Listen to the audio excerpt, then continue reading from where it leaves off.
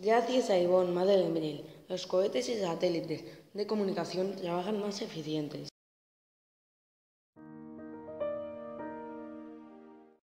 Nació en, en, Canadá en el 1924. Sus padres eran inmigrantes de Bélgica.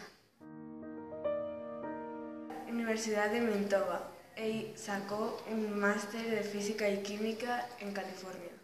Siendo estudiante participó en muchos programas espaciales en los Estados Unidos.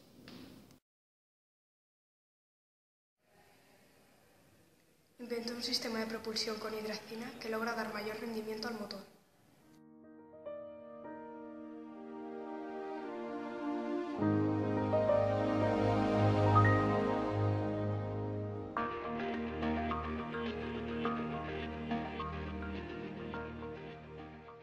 Su trabajo de investigación permitió en 1973 una información detallada sobre la termosfera de la Tierra.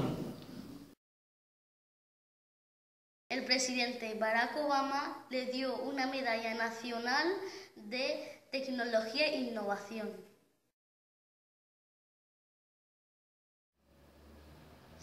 Murió el 27 de marzo del 2013 de un cáncer en Nueva Jersey. El Instituto Estadounidense de Aeronáutica ha puesto su nombre a una conferencia realizada anualmente donde se hablan sobre temas de ingeniería espacial.